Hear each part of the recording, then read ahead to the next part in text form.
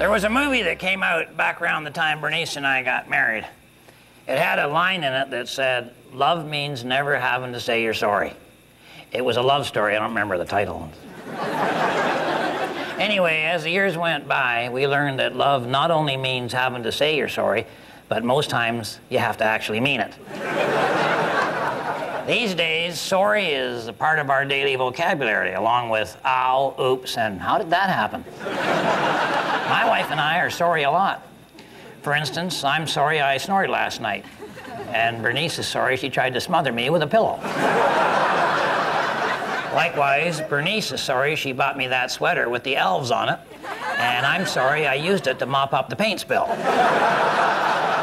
See, sorry works. It's the best tool we have, at least until they build a time machine so we can go back and not do all the stupid things we're apologizing for.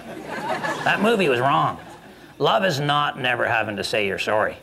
If you spend your life with one woman and never apologize, you're in for a rough ride, believe me. I know you didn't want to hear that. Sorry. Remember, I'm pulling for you. We're all in this together.